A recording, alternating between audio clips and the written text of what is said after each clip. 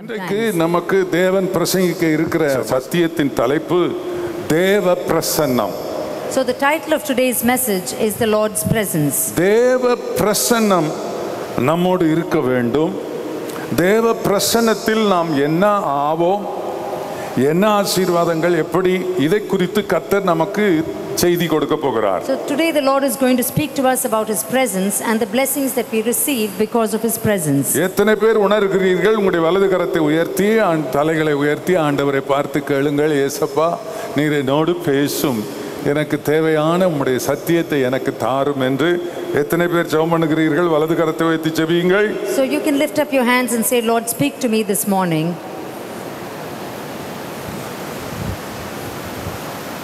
எங்களுக்கு தேவையான உம்முடைய ஆலோசனையை தந்து எங்களை ஆசீர்வதியும் Lord, give us the counsel that we need today and bless us with your counsel. இன்றைக்கு நாம் ஒரு வேத பகுதியை நாம் வாசிப்போம் So, let us turn our scriptures to a particular verse.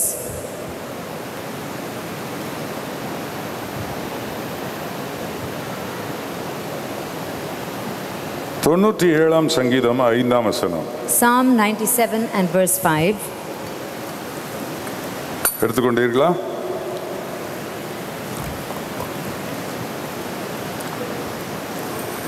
வாசிக்கலாம் கத்தரின் பிரசன்னத்தினால் பர்வதங்கள் மெழுகு போல். உருகிற்று.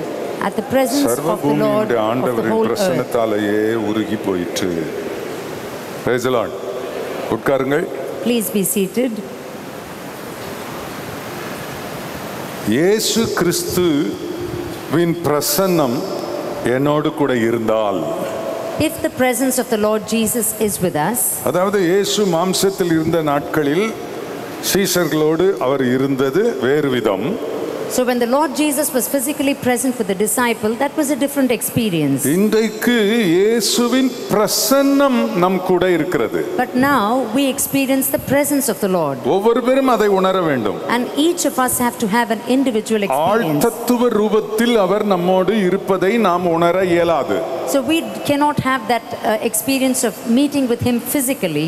ஆனால் தேவனுடைய சமூகம் நம்மோடு இருப்பதை நாம் உணர வேண்டும் But then we can really experience the presence of the Lord. தேவ சமூகம் இல்லை என்று நான் உணர்ந்தால் அப்பொழுது என்ன சம்பவிக்கும் என்பதை நாம் உணர்ந்து கொள்ள வேண்டும் So we should also be aware as to what will happen if the presence of the Lord is not with us. கர்த்தர் என்னோடு இருக்கிறார் என்றால் அவருடைய பிரசன்னம் என்னோடு இருக்கிறது என்று அர்த்தம் So if we say the Lord is with us, then it also means that His presence is with us. தேவ பிரசன்னம் இந்த பூமி முழுவதும் வியாபித்து இருக்கிறது So the presence of the Lord encircles the entire world. இயேசு தேவனுடைய பிரசன்னம் ஏதேன் தோட்டத்துக்குள் வந்தது So we read that the presence of the Lord and the Lord was there in the Garden அங்கே. வசனம் வசனம் சொல்லுகிறது தேவனாகிய கர்த்தர் தோட்டத்திலே உலாவுகிற சத்தத்தை கேட்டு அவர்கள் தங்களை ஒழித்து கொண்டார்கள் என்றிருக்கிறது So the Bible says that Adam and Eve, they heard the presence of the Lord coming into the Garden of Eden. They were afraid and they hid themselves. அவர் அவருடைய பிரசன்னம் வரும்போது சில அறிகுறிகள் அங்கே தோன்றும் So there are certain signs and symptoms when the presence of the Lord comes into our midst. ஒரு அருமையான காற்று ஒன்று வீசும் A very gentle breeze will start blowing. மரம் செடி கொடிகள் எல்லாம் அப்படியே அசைந்து ஒன்றோடு ஒன்று மோதி சில இசைகளை எழுப்பும் And all the plants and trees will start moving together, as a result of which you will have a very beautiful music in that garden. பறவை பட்சிகள் பறந்து தங்களுடைய இனிமையான தொனிகளை தொனிக்க பண்ணும் And the birds will start flying and they will start singing, and you can hear a very melodious music. தேவனாகிய கர்த்தர் தோட்டத்திலே உலாவுகிற சத்தம் என்று அங்கே இருக்கிறது So we hear that this is the voice and the noise that comes because of the presence of the Lord and His movement in that place. நீங்கள் நினைத்து கொள்ளக்கூடாது அப்படி தேவ பிரசன்னம் ஒரு சத்தம் வரும் ஜன்னல் படபடன்னு அடிக்கும் அப்புறம் வந்து ஒரு மாதிரி காற்று காட்டன் எல்லாம் அப்படி சும்மா அசாதாரணமாக பறக்கும். ஒரு மாதிரி இருக்கும் அப்படிலாம் எதிர்பார்க்க கூடாது So you should not uh, imagine that something very different is going to happen, that the windows will start moving and the curtains will start shaking if the presence of the Lord comes down.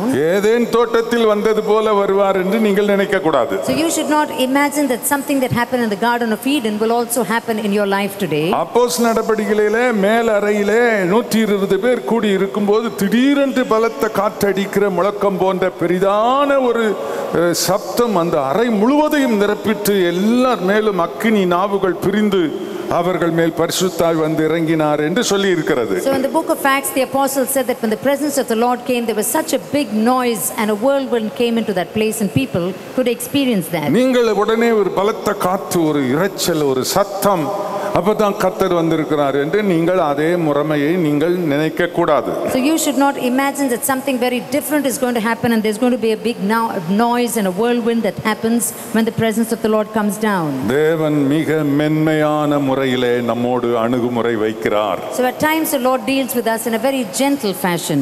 சிலரிடத்தில் தம்மை வல்லமையாய் காண்பிக்கிறார் At times the Lord expresses himself in a very powerful manner to some of us. சிலரிடத்தில் மென்மையாய் காட்டுகிறார் At times he expresses himself in a very gentle way to some of us. வேதத்தின் மொத்தத்தில் இருந்து நான் ஒரு குறிப்பை சொல்லுகிறேன் So I want to consolidate everything from the Bible and declare that. மோசையோடு தேவன் தம்முடைய சமூகத்தை கொடுத்து அவன் முகத்தையே சூரியனை போல பிரகாசிக்க வைத்தது போல் நம்மோடு அவருடைய சமூகம் இருக்கும் என்று எதிர்பார்க்க கூடாது So you should not imagine that what happened to Moses will happen to us because when the Lord interacted with Moses, his face shone as bright as the sun. நாற்பது நாள் இரவும் பகலும் புசியாமல் குடியாமல் தேவ சமூகத்தில் அவர் இருந்தபோது ஆண்டவருடைய பிரசன்னம் அவரை மூழ்கடிக்க அதிலே அவருடைய முகம் வெளிச்சமாக ஜனங்கள் அவருடைய முகத்தை பார்க்க முடியாத அளவுக்கு பிரகாசமாய் இருக்க ஒரு முக்காடு போட்டு தன் முகத்தை மூடிக்கொண்டு ஜனங்களுக்கு முன்பாக நின்றார்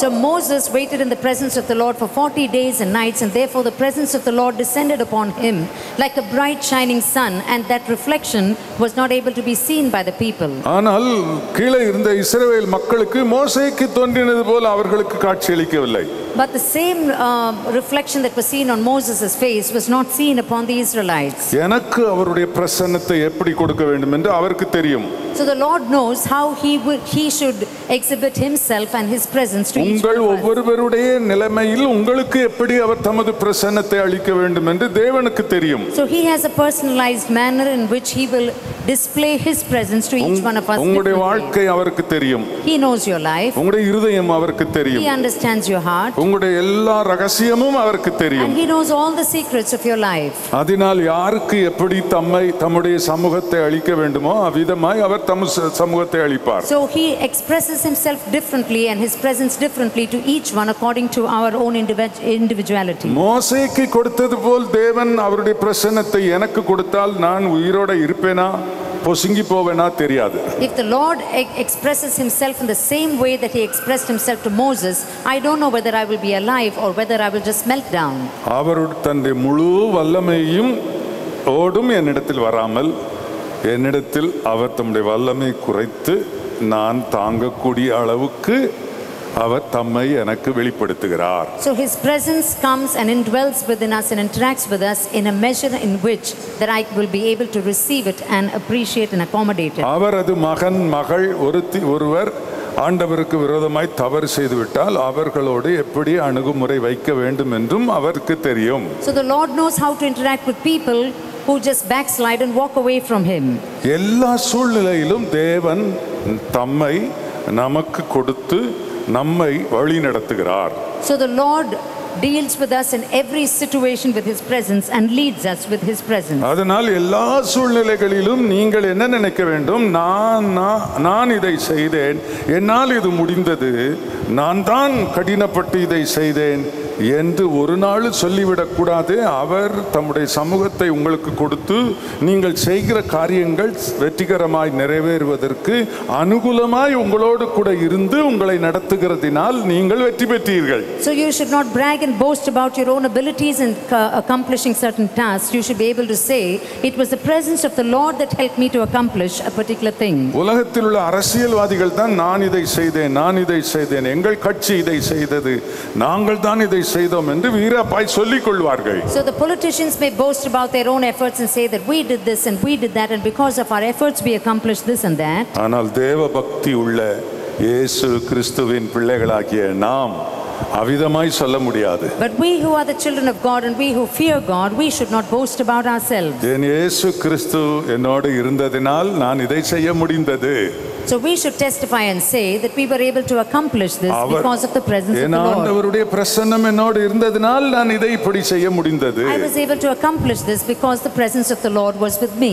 கர்த்தர் எனக்கு துணையாய் இருந்ததினால் இதை செய்தேன் I was able to do this because the Lord was by my side and He was my support. அவருடைய கிருபையினால் நான் இதை செய்தேன் I was able to do this because His grace abounded in me. என்று வாயை திறந்து சொல்லணும் So we should declare this as a testimony. உள்ளத்திலும் அப்படியே எண்ணணும் And we should also have this in our heart and think likewise. ஆகவே நான் அல்ல இயேசுவே நீர்தான் என்ற அந்த அர்ப்பணம் எப்போதும் நம்மிடத்தில் இருக்க வேண்டும் So we should always testify saying, Lord, it is not me, it is only you, and surrender ourselves to that fact. அவருடைய பிரசன்னம் மிக வல்லமை உள்ளது So His presence is very significant தேவ. பிரசன்னம் நம்மோடு கூட இருந்தால் பர்வதங்கள் கூட மெழுகு போல் உருகிவிடும் So if the presence of the Lord is with us, even the mountains will melt like wax.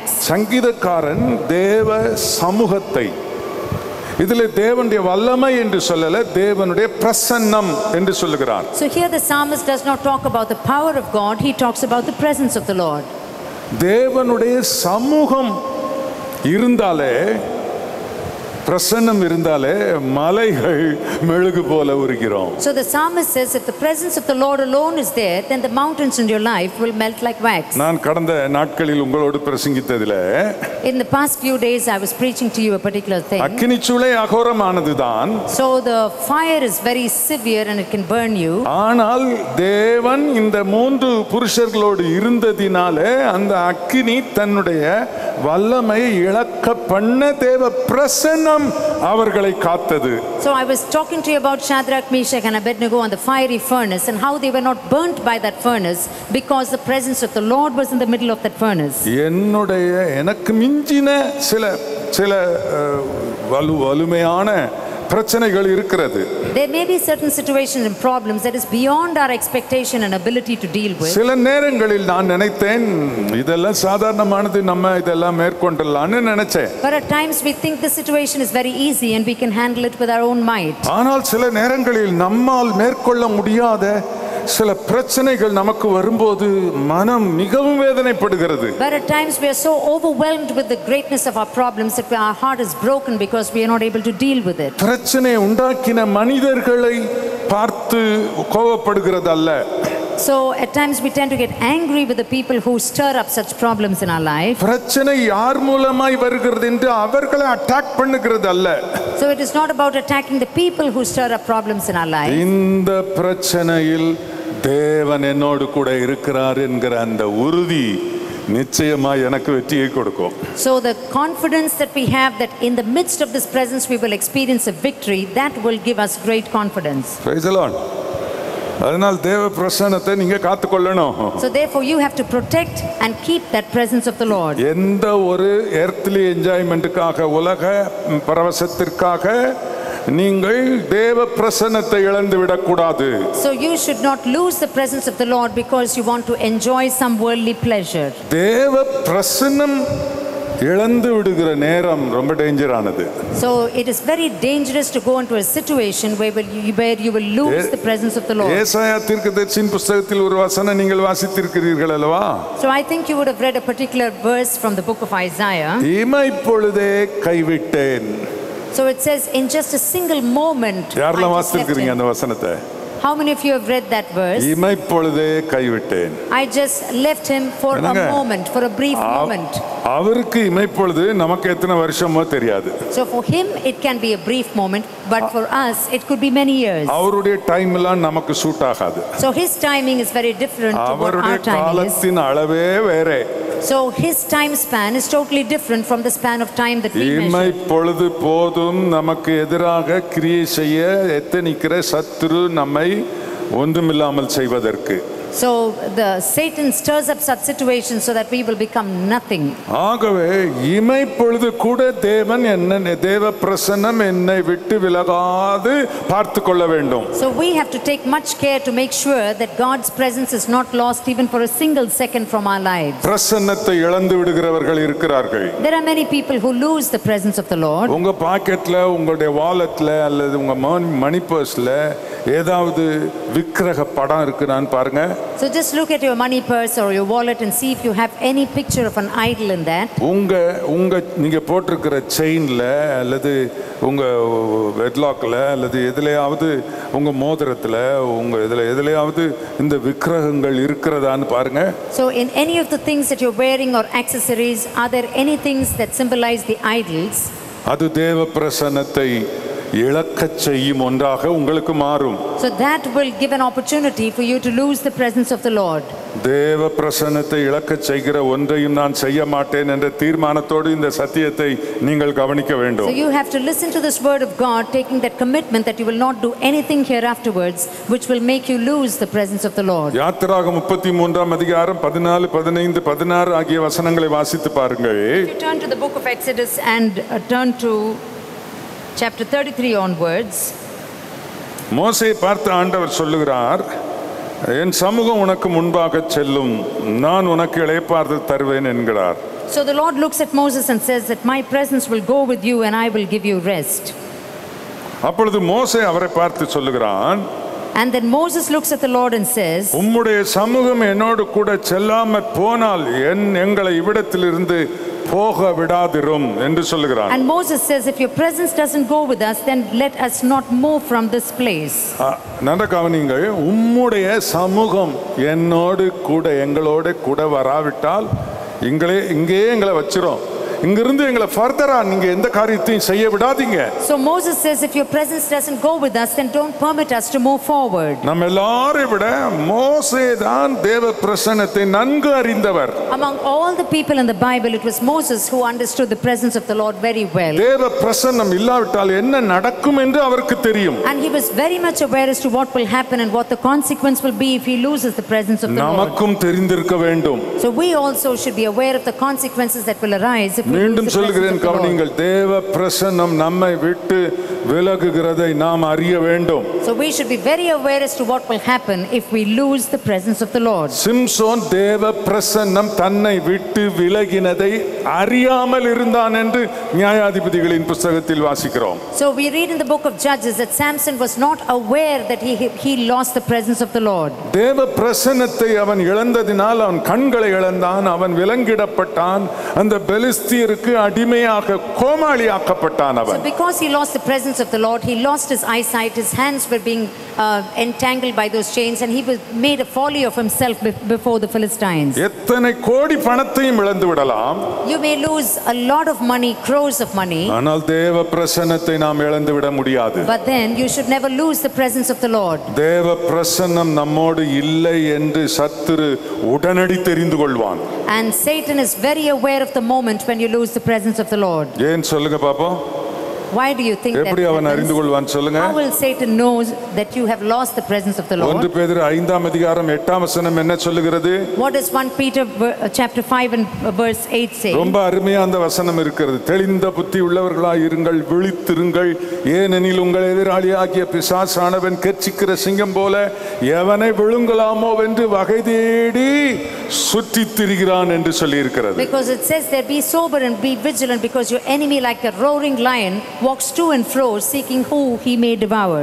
அவன் தேவ பிரசன்னம் உங்களை விட்டு விலகினதை கணப்பொழுதில் புரிந்து கொள்வான் So he will understand in a second the moment the presence of the Lord leaves you. அதை அவன் தனது வாய்ப்பாக கருதுவான் So he will immediately take opportunity of this situation. உன்னுடைய கோபம் உன்னுடைய எரிச்சல் உன்னுடைய கடுமையான பேச்சு உன்னுடைய அவபக்தியான பேச்சு உன்னுடைய ஒத்து போகிற அதாவது தேவனுக்கு அடுத்த விஷயத்தில் வைராக்கியம் இல்லாமல் மற்றவர்களோடு எல்லா காரியத்திலும் இசைந்து போகிற இவ்விதமான நடக்கைகளினால் தேவ பிரசனத்தை இழக்க வாய்ப்பு இருக்கிறது So there are many opportunities where you will you lose the presence of the Lord because of your anger, bitterness, and because of the words that you use and things that you do that are displeasing to God. உன்னுடைய நண்பர்கள் தேவ பிரசனத்தை இழக்க செய்வார்கள் Your friends will make you lose the presence of the Lord. ஆகவே ஐக்கியம் ரொம்ப முக்கியம் So that fellowship and relationship is very important. இந்த ஐக்கியத்தில் நீங்கள் தவறான ஐக்கியம் வைத்திருந்தீர்கள் என்று சொன்னால் நிச்சயம் தேவ பிரசனம் உங்களை விட்டு விலக வாய்ப்பு இருக்கிறது So if you have a wrong relationship and friendship with the world, there is uh, sufficient opportunity for you to lose the presence of the Lord. ஆண்டவரே நீர் என்னோடு இரும் என்னோடு இருந்து நீர் என்னை நடத்தும் என்று நான் ஜெபிக்க வேண்டுமா So do I have to pray saying, Lord, be with me and let your presence be with me always? நீர் என்னோடு இருக்கிறதற்காக ஸ்தோத்திரம் Lord, I thank you that your presence is always with me. பலவிதமான பாதைகளில் துன்பத்தில் கடினமான பாதைகளில் நான் கடந்து செல்கிறேன் ஆனாலும் நீர் என்னோட இருக்கிறதினால் எனக்கு ஒரு தைரியம் இருக்கிறது என்று சொல்ல விசுவாசம் நமக்கு வேண்டும் So we should have the faith to say that no matter what situation I go through, I thank you, Lord, that your presence is with me. எல்லாரும் இந்த காரியத்தை உறுதி செய்து கொள்ளுங்கள் என்னோடு தேவ பிரசன்னம் இருக்கிறது என்று So all of you should have that personal assurance that the presence of the Lord is with me. அப்படி தேவ பிரசன்னம் இருக்கும்போது நம்முடைய வாழ்க்கையில் நடக்கிற காரியங்களை எண்ணி பார்த்தால் மிக ஆச்சரியமாக இருக்கிறது So if the presence of the Lord is with you, then you will have countless things that happen in your life which you They- cannot even imagine. தேவ பிரசன்னம் அதுங்க பாருங்க எண்ணாகமம் ஆறாம் அதிகாரம் இருபத்தி ஆறாம் வசனம் பாருங்கள் So if you turn to number 6 and verse 26, ரெண்டாவது வசனம் டாப்ல இருக்கு. yeah, number 6 and verse 26.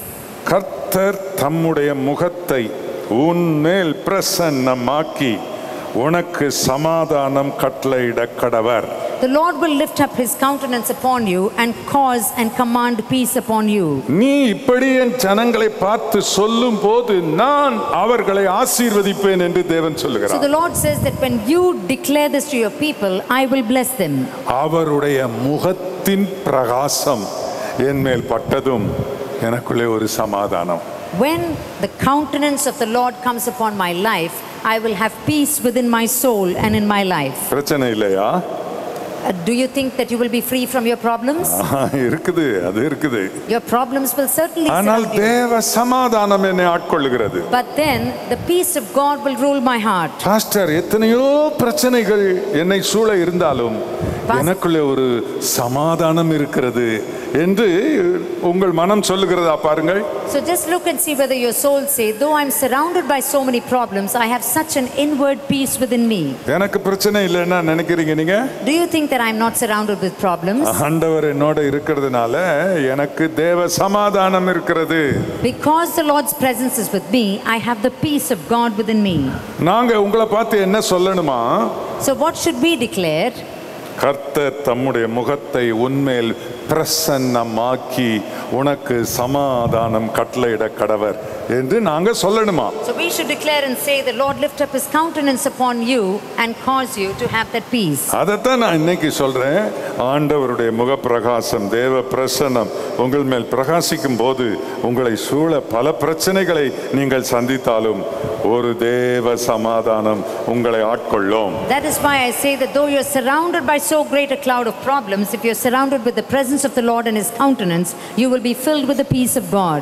அது உங்களுக்குள்ளே வந்துட்டாலே உங்களுக்கு ஒரு கான்பிடென்ட் ஒரு ஒரு ஒரு மன உறுதி கிடைச்சிரும் So if you have the presence of the Lord within you, you will have such a self-confidence within உங்- you. உங்களை சூழ இருக்கிற சத்துருவின் கிரியைகளை அப்படின்னு அசட்டையா நினைக்க பேச தோணும் So then you will have such a confidence where you will just look very casually at the big problems that surround you. அவருடைய பிரசன்னம் உன் மனதை சமாதானப்படுத்தினது உண்டானால் So that will happen only if the presence of the Lord calms your mind and gives you that inward உன்னை peace. சூழ இருக்கிற உன்னை சூழ இருக்கிற பிரச்சனைகள் பிரச்சனைகளை நீ அற்பமாய் எண்ணலாம் So then you could make nothing of the problems that surround you if the presence of the Lord is with இது you. என்ன என்ன செய்துவிடும் என்று சொல்லலாம் So you can look at your problems and say, how can you overwhelm me and overtake me?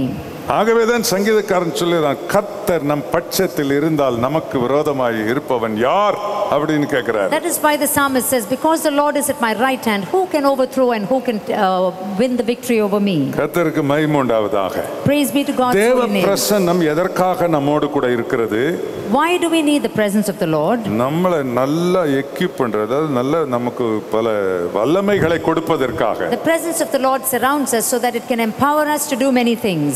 இங்கே பாருங்கள் அஹ், மோசே இஸ்ரவேல் மக்களில் ரெண்டு கோத்திரத்தாரை பார்த்து இவ்விதமாக சொல்லுகிறார். எண்ணாகமும் முப்பத்தி ரெண்டாம் அதிகாரம் இருபதாம் வசனத்திலிருந்து ஒரு மூன்று வசனங்களை நீங்கள் கவனித்தீர்கள் என்றால் அதில் மோசை அவர்களை பார்த்து சொல்லுகிறார் அப்பொழுது மோசை அவர்களை நோக்கி நீங்கள் இந்த வார்த்தையின்படியே செய்து கர்த்தருடைய சமூகத்தில் யுத்த சன்னதராகி என்று சொல்லுகிறார். So here if you turn to Numbers cha- chapter 32, you find that Moses speaks to the two tribes And he says, If the presence of the Lord is with you, நீங்கள் யுத்த சன்னதர் ஆவீர்கள் என்று சொல்லுகிறார் and he says that you will become such great warriors if the presence of the Lord is with you. யுத்த வீரர்களாக நீங்கள் மாறுவீர்கள் You will become great warriors, people who are able to overcome. இருபத்தி ஓராம் வசனம் சொல்லுகிறது கர்த்தர் தம்முடைய சத்துருக்களை தம்முடைய முக ந- முகத்திற்கு முன்னின்று துரத்திவிடும் அளவும் நீங்கள் யாவரும் அவருடைய சமூகத்தில் யுத்த சன்னதராய் அதாவது யுத்த வீரராய் யோர்தானை கடந்து போவீர்கள் And in verse 21, we see that the Lord will cause to defeat your enemies and you will be able to move forward through the river of Jordan. இந்த வசனங்கள் அப்படித்தாங்க சொல்லுது And this is what the word of God says in அப்போ Numbers. தேவ சமூகத்தில் இருக்கும்போது நம்மளை ஒரு தைரியமான யுத்த வீரர்களா அது மாற்றுது So when you are in the presence of the Lord, it changes you into a person who is such a great warrior and overcomer. சில சாட்சிகளை நம்ம பார்ப்போம் So let's look at certain examples and இந்த testimonies. இந்த Shadrach Meshach ஆபித்னேகோ அந்த அக்னி சுலை பார்த்து ஏதாவது பயந்தாங்களா Did Shadrach, Meshach, and Abednego reflect any kind of fear by looking at the fiery நீ furnace? நீங்க கொஞ்சம் இப்ப பாருங்க அதுல எனக்கு அப்படி எதுவும் ஒன்றும் தெரியல அவங்க ராஜாவை பார்த்தே தென்னாவிட்டா பேசுறாங்க They look at the king and they challenge the king very boldly.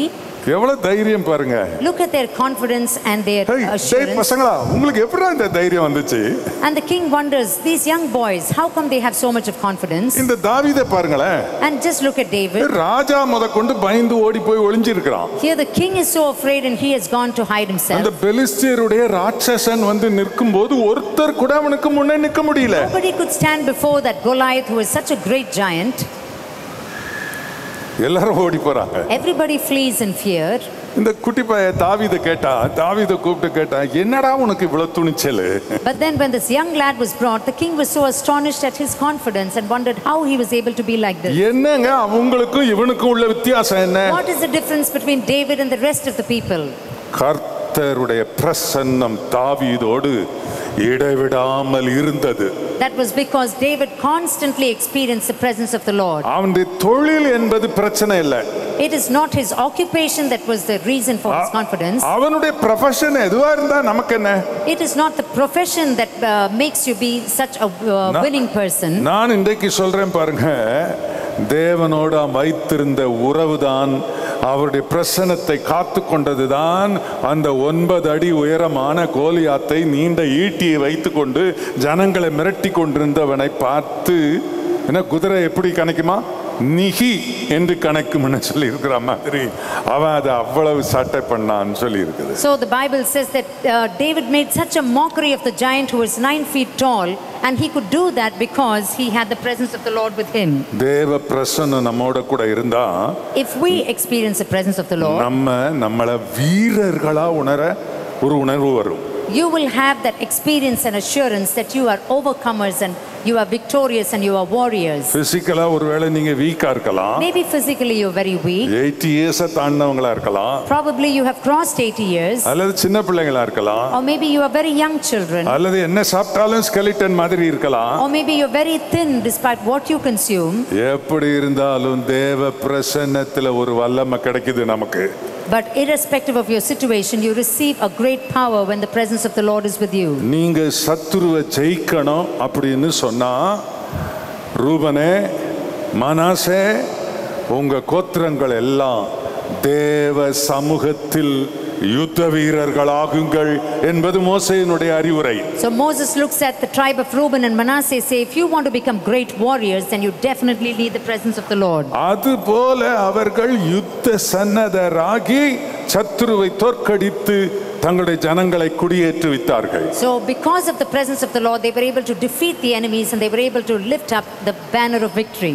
அந்த தேவ சமூகம் நம்ம கூட இருக்கிறது That presence of the Lord is with us today. நான் மீண்டும் உங்களுக்கு ஒரு விஷயம் சொல்ல வேண்டும் I would like to say another point with you. நீங்கள் சில தவறுகள் செய்கிறீர்கள் Some of you commit certain sins. அந்த தவறுகள் செய்கிற நேரத்தில் சாத்தான் உங்கள் பக்கத்தில் வந்து நின்று நீ தேவனை விட்டு விலகிவிட்டாய் தேவன் உன்னை விட்டு விலகிவிட்டார் என்று சொல்லி உன்னை தேவனை விட்டு பிரிக்க அவன் சில விஷயங்களை உங்களுக்கு சொல்லுகிறான் So sometimes when you commit sin, Satan comes near you and constantly accuses you, saying, You have left the presence of the Lord, you have left the presence of the Lord. யூதாசுக்கு யூதாசுக்கு அப்படித்தான் சொன்னான் And this is what Satan told Judas also. நீ அவரை காட்டி கொடுத்துட்ட Oh, you have betrayed Jesus. Of course அதுக்கு பிற்பாடு நீ அதை குறித்து நீ ரியலைஸ் பண்ணி மனம் திரும்பிட்ட And of course, you have uh, repented o- of that sin of betrayal. ஆனாலும் நீ செய்த பாதகம் சாதாரண பாதகம் அல்ல. கடவுள் உன்னை உன்னை மன்னிக்கவே மாட்டாரு. நீ அதனால இனிமே ஒரு நாள் இயேசுநாதர் பக்கமே டேர்ன் பண்ணாத. நீ ஓடு அந்த மரம் இருக்குது பார் ஓடு என்று சொல்லி அவனை அவனை மிகவும் கில்ட்டி ஆக்கினான் அவன். So Satan accused Judas so much and made him feel so guilty, saying, God will never forgive you or accept you. You better run away from here. யூத யூதாஸ் செய்ததை விட படுபாதகம் செய்தவன் பேதுரு. So Judas betrayed Jesus, but Peter did something even worse than that. பேதுரு இயேசுவை சபித்தான் என்று சொல்லி The இருக்கிறது Bible says that Peter cursed the Lord Jesus Christ.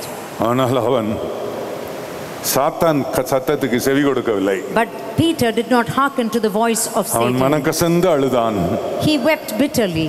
தன்னை ஆண்டவரிடத்தில் அறிக்கை செய்தான் He repented and confessed his sin to the Lord. இயேசு அவனுக்கு நியமித்திருந்த அந்த தலைமைத்துவத்திலிருந்து கூட அவனை ஆண்டவர் விலக்கவில்லை The Lord did not take him away from that presence and uh, position that he had. நீ என்னை மறுதலித்தவன் ஆகவே யோவான் தான் பிரதான அப்போஸ்தலன் நீ கீழே போ கடைசியானவன் என்று ஆண்டவர் அவனுக்கு சொல்லவில்லை The Lord did not despise him and say, Here afterwards you're going to lose your uh, position and John will uh, succeed you, so you can just lose your uh, presence. He did not punish him. யூதாஸ் காட்டி கொடுத்தான் அஹ், பே- பேதுரு மறுதலித்து இயேசுவை சபித்தான் மற்ற சீஷர்கள்லாம் ஓடி போனார்கள் இயேசுவை விட்டு விலகாத ஒரே சீசன் யோவான் So the only disciple that did not leave the presence of the Lord was John, uh, was John because Judas, he despised Jesus and Peter also. நானா இருந்திருந்தால் யோவானைத்தான் தலைமை ம், அப்போஸ்தலனாக நான் நிச்சயமாய் வைத்திருப்பேன் So if it was me, I would have really given significant importance only to John. ஆனால் நான் ப- மனுஷர் பார்க்கிற பிரகாரமாக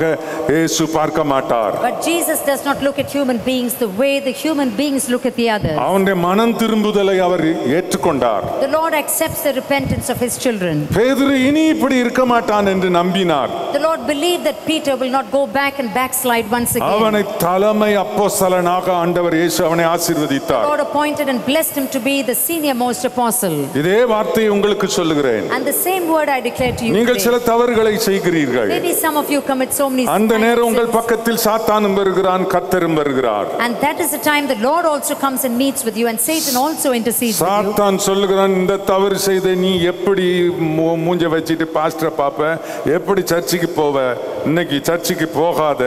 நீ அங்க போ இங்க போன்னு உன்னை உன்னை சிதறடிப்பான். Satan uses this opportunity to, uh, to despise you and to bring you into some kind of a situation where you don't, where you feel that you don't need to meet the pastor again or to the church. அப்படி அவனுக்கு செவி கொடுத்தால் தேவ பிரசன்னம் உங்களை விட்டு போய்விடும் He makes you so guilt conscious, and therefore, if you listen to him, you will lose the presence of the Lord. தேவ பிரசன்னம் உங்களை விட்டு போய்விட்டால் சாத்தான் நினைத்தது உங்கள் வாழ்வில் நடக்கும் And if the presence of the Lord leaves you, then what Satan desires will happen in your life. சாத்தான் நினைத்தது உங்கள் வாழ்க்கையில் நடந்தால் அதன் முடிவு என்னவா இருக்கும் அழிவாகத்தான் இருக்கும் So, what will be the end if Satan starts interceding in your life? It will only lead to failure and death. உன் இயேசு உன் பக்கத்தில் நிற்கிறார் Jesus பரிசுத்த. ஆவியானவர் நிற்கிறார் The Holy Spirit is beside you, போதகருடைய சத்தம் உன் காதுகளில் தொனிக்கும் and you can hear the voice of the preacher in your ears. அந்த நேரத்தில் நீ இந்த இந்த பக்கம் தேவன் பக்கம் சாய்ந்து ஆண்டவரே என்னை மன்னியும் என்று ஒப்பு கொடுத்தால் கர்த்தர் மன்னித்து மறந்து விடுவார் So, in the moment of your sin, if you repent and turn to the Lord, the Lord will forgive and forget your sins. தொடர்ந்து தேவ பிரசன்னம் உங்களோடு கூட இருக்கும் And the presence of the Lord will continue to be with you. அந்த அப்படி தேவ பிரசன்னத்தை காத்துக்கொள்ளுங்கள் So, you have to preserve and protect the presence of the நீங்கள் Lord. in தவறு your life. செய்யுங்கள் என்று நான் சொல்லவில்லை I am not telling you to continue in your sins and ஏதோ wickedness. ஒரு சூழ்நிலையில் தவறு செய்து விட்டீர்கள் Maybe in some situation or circumstance you were forced to commit some kind of sin. ஆனால் மனம் திரும்ப ஆண்டவர் கிருபை கொடுக்க ஆயத்தமாயிருக்கிறார் But the Lord desires to grant you that grace to repent and to come back to Him.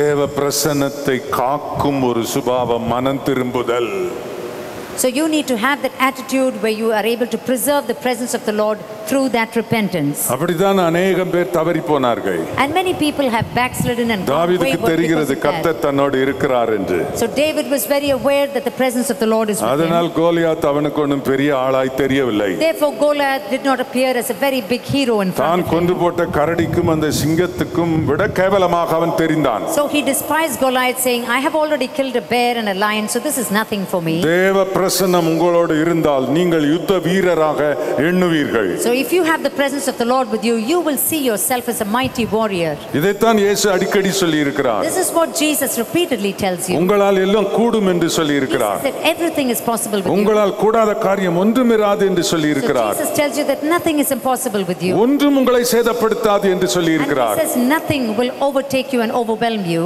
ஏனென்றால் அவர் கூட இருக்கிறேன் என்று சொல்லி இருக்கிறார் because he says, My presence is with you.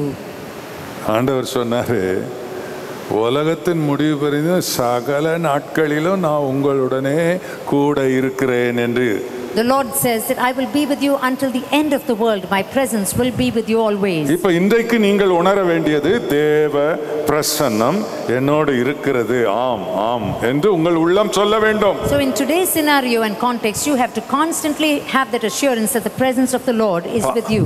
பாவத்திலிருந்து மனம் திரும்ப வேண்டும் You have to repent from your wicked ways and sins.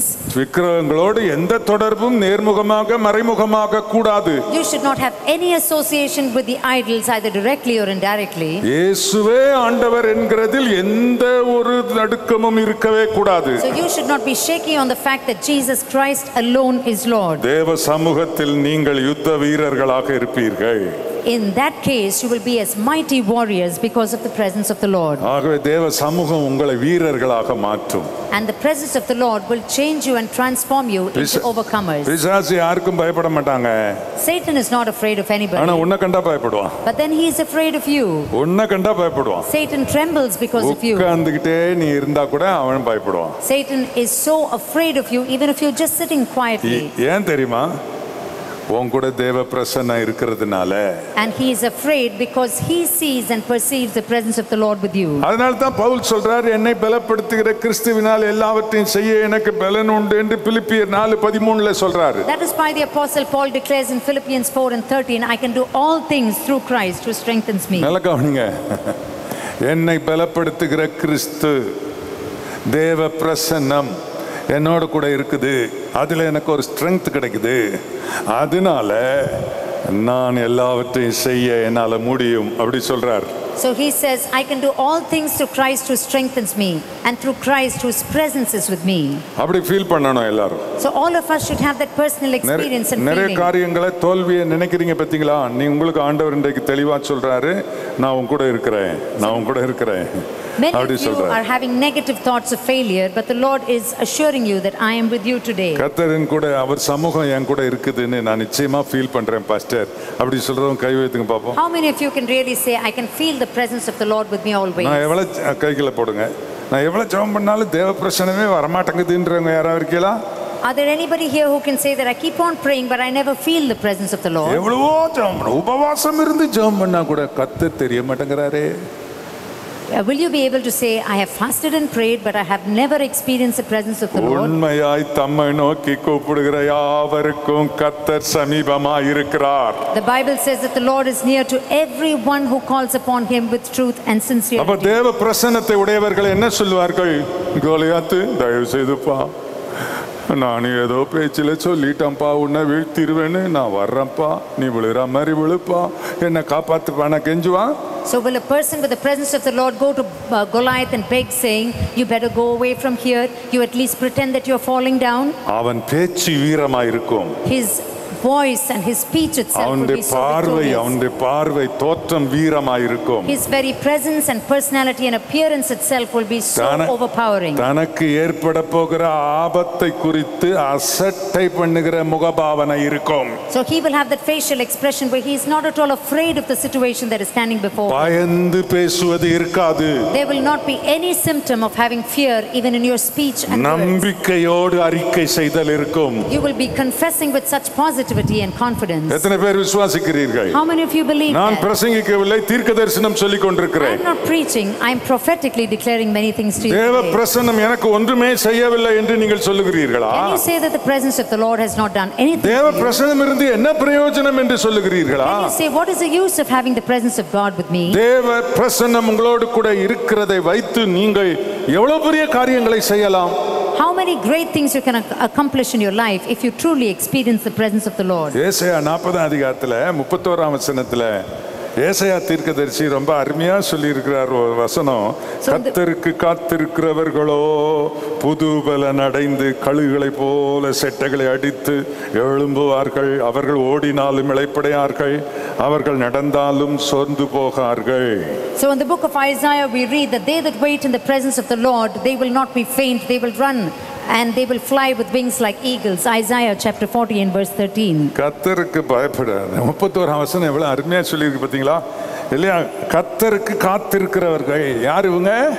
So who are these people? These are people who wait in the presence of the Lord. ஜெபத்துல காத்திருக்கிறவங்க People who wait in prayer. ஜெபத்துல காத்திருக்கிறவங்க And people who wait in the presence of the Lord. ஆண்டவருடைய பிரசன்னத்துல அவங்க நல்லா strengthen ஆவாங்க And these are people who will be strengthened in the presence of the Lord. எல்லா பயத்தை போக்கும் பலன் அவர்களுக்கு வரும் All fears will be dispelled and they will be filled with இதை great power. இதை உள்ளடக்கித்தான் மோசே ரூபனையும் மனாசையும் பார்த்து சொல்லுகிறான் தேவ பிரசன்னத்தில் யுத்த சன்னதராகுங்கள் என்று சொல்லுகிறான் So having understood this only, Moses speaks to Reuben and Manasseh saying, you experience of the presence of the Lord and that will make you great overcomers and. நீங்களும் தேவ சமூகத்தில் உங்களை பலப்படுத்திக் கொண்டு யுத்த வீரர்களாக மாறுங்கள் So you should be strengthened because of the presence of the Lord and become great warriors. Praise the Lord. Praise the Lord.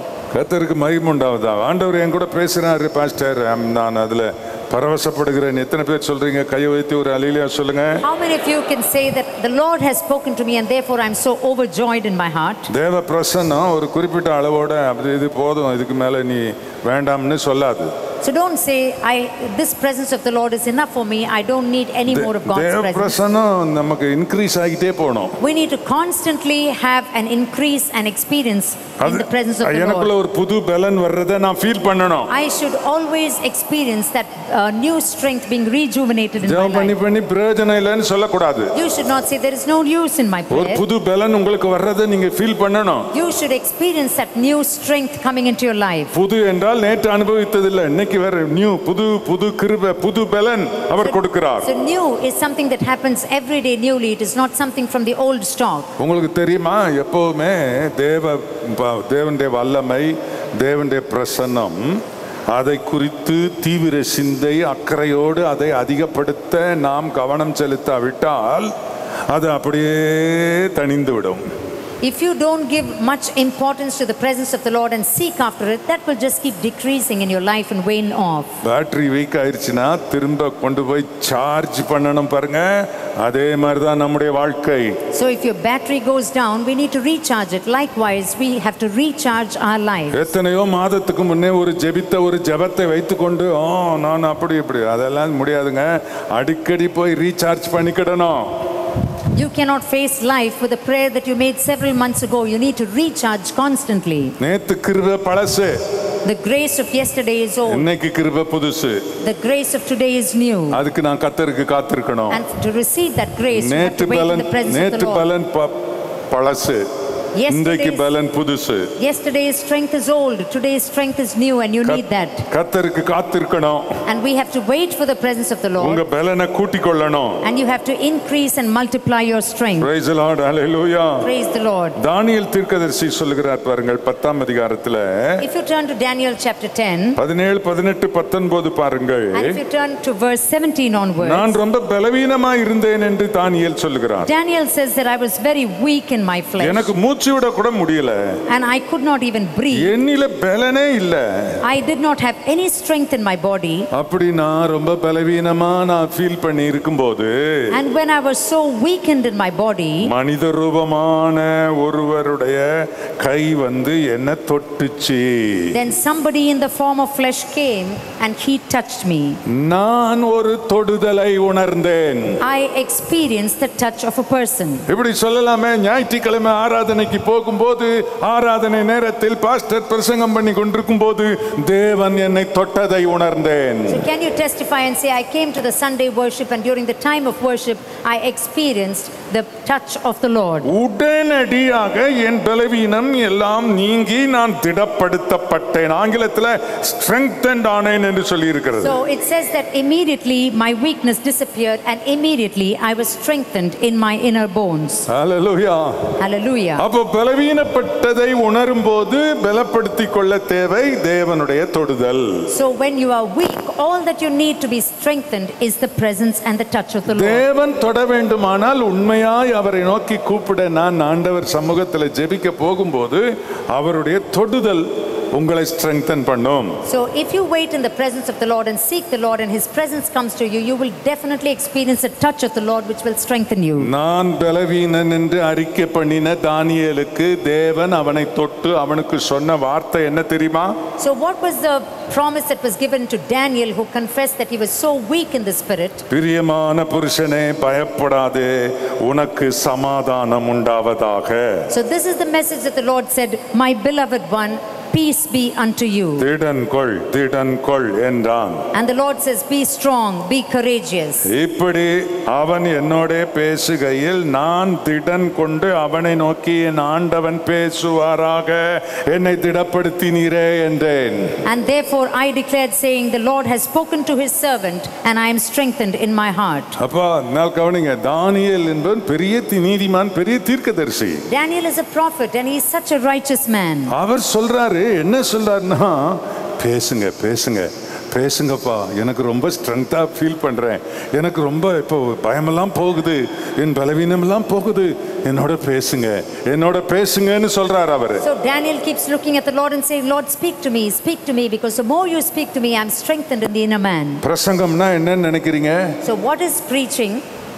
ஏதோ ஒரு சொற்பொழிவு என்று நினைக்கிறீர்களா Don't think it's a time where pe- somebody is declaring தேவன். உங்களை தொடுகிற நேரம் It is a time when the Lord touches you. தேவன் உங்களை பலப்படுத்துகிற நேரம் It's a time when the Lord strengthens you. தேவன் உங்களை பயத்திலிருந்து வெளியே கொண்டு வருகிற is a நேரம் time when the Lord delivers you from your fears. தேவன் உங்களுக்குள்ளே ஒரு திட நம்பிக்கை உண்டு பண்ணுகிற It's a நேரம் time when the Lord gives you a great confidence in your heart. நிச்சயமாக கத்தர் உங்களுக்குள்ளே அப்படி செய்வார் And of truth, the Lord will do the same thing in your life. இங்க பாருங்கள் சவுல் ராஜா தானியேலை தாவீதை பார்த்து ரொம்ப அசட்டை பண்ணுகிறான் So King Saul looks at David and he speaks very despicably to him. நீ சின்ன பையன் என்று சொல்லுகிறான் And he says, You are after all a small அவனோ. பெரிய யுத்த வீரன் Oh, he is such a great நீ warrior. சின்ன பையன் You are a small boy. நீ இப்பதான் கொஞ்ச நாளா சபைக்கு வர்ற Only for few days you நீ ரட்சிக்கப்பட்டு. கொஞ்ச நாள் தான் ஆச்சு It's only few days since you experienced நீ என்னத்து. செய்ய போற What are you going to do? நீ ரொம்ப ஜெபம் பண்றது இல்ல What is the use? You நீ are not நீ praying. என்ன பெரிய விசுவாசியா Are you a great uh, uh, person in the Lord? என்று சொல்லி சவுல் மாதிரி பிசாசு நம்மளை சோர்வடைய பண்ணுவான் And often Satan whispers these negative words and causes you to just be depressed in your mind. Pastor மாதிரி ரொம்ப நேரம் ஜபத்துல இருக்கணும்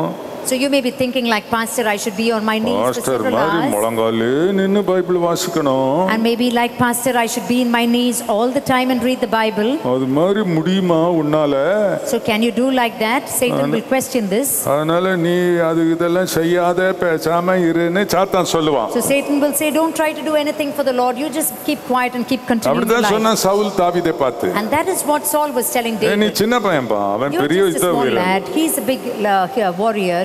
எவர் என்ன சொன்னாலும் சரி உங்களுக்குள்ள இருக்கிற ஃபீலிங் தான் ரொம்ப முக்கியமானது So it doesn't matter what people are saying around you. What is that experience and feeling within you saying? யாருடைய சொல்லுக்கு உங்கள் உள்ளம் இசைந்து கொடுக்கிறது So uh, where does your heart turn to? To whom does it hearken to?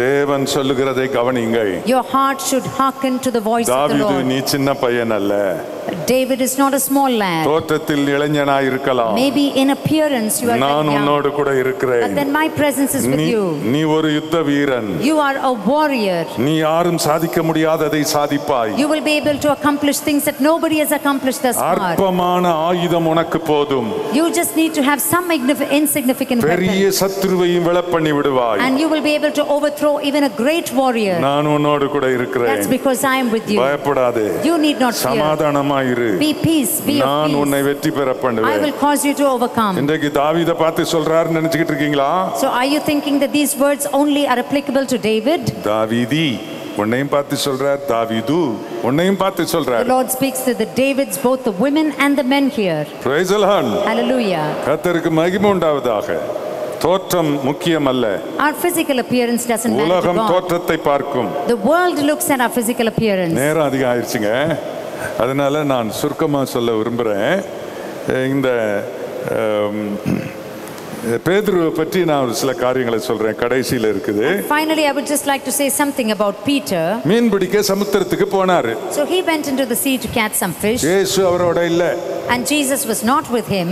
கடவுள் இல்ல God was தேவ. பிரசன்னம் இல்ல He could not experience the presence of our God, மீன் பிடிக்க போனாரு and he went fishing, ஒரு மீன் கூட கிடைக்கல and he didn't even catch a single fish. அவர் ஸ்டேட்மெண்டை சொல்லுது நான் முழுவதும் பிரயாசப்பட்டேன் நேற்று ராத்திரி பூரா பிரயாசப்பட்டேன் ஒண்ணு கூட கிடைக்கல So what was Peter saying? Oh, the whole night I toiled and worked, but I did not catch even a single fish. Okay okay நான் உன் கூட இருக்கிறேன்ல இப்போ But then the Lord says, Okay, now I'm with you. அம்மான் வலைய போடு Come on, throw and cast your fish into the இப்ப. என்னாச்சுன்னா வலை கிழிந்து போகத்தக்கதாக திரளான மீன்களை பிடித்தான் And now there was so much of fish into the net, he had to call the boats that were beside to fill the fish with them. இயேசு மாம்சத்தில் இருந்தபோது ஆழ்த்தத்துவ ரூபமாய் பேதுருவோடு இருந்தார் So when Jesus was on the earth, his physical presence was there with Peter. அன்று தாவீதோடு இருந்ததை விட அதிகமா இயேசு என்னோட இருக்கிறார் But on that day, the presence of Jesus was felt by Peter more than what David felt in that time. என் வாழ்க்கையில் இயேசு இயேசுவின் பிரசன்னம் இல்லாத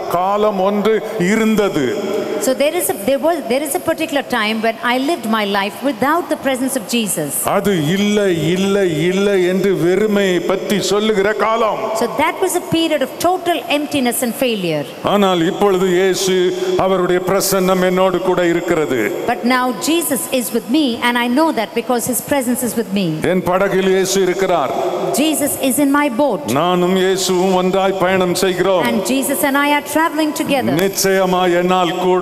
And certainly I can do that. சொல்லும் நான் வலையை போடுகிறேன் And you can say, Lord, you command me, I will cast my net உம்முடைய. வார்த்தையின்படி வலையை போடுகிறேன் According to your command, I will cast my net. இயேசு பார்த்திருக்க வலையை போட்டான் And as Jesus was watching, he cast his net into the sea, திரளான மீன்களை பிடித்தான் and he caught a great multitude. இயேசு உன்னுடைய அவருடைய பிரசன்னம் உன்னோடு இருந்தால் உன்னால் நிச்சயம் சாதிக்க முடியும் If Jesus is with you and his presence is with you, you will be able to achieve anything in your life. எல்லா நிலையிலும் சாதிக்க முடியும் And you will be able to be an overcomer irrespective of the situation, in இன்னொரு all இன்னொரு situations. சந்தர்ப்பத்தில் இயேசு படகில் இருந்தார் So there is another situation when Jesus was in the boat. லூக்கா எட்டாம் அதிகாரத்தில் இருக்கிறது And that situation is mentioned in Luke chapter 8. நான் நினைக்கிறேன் பேதுரு ஐயோ என்னமே நீர் இல்லாம சமுத்திரத்துல பிரயாணமே கிடையாது வாங்கன்னு கூட்டிட்டு போயிட்டான் I'm, I believe that it was Peter who would have invited Jesus saying, You come along with us. இந்த படகுல இயேசு தூங்குறாரு So in this particular situation, Jesus is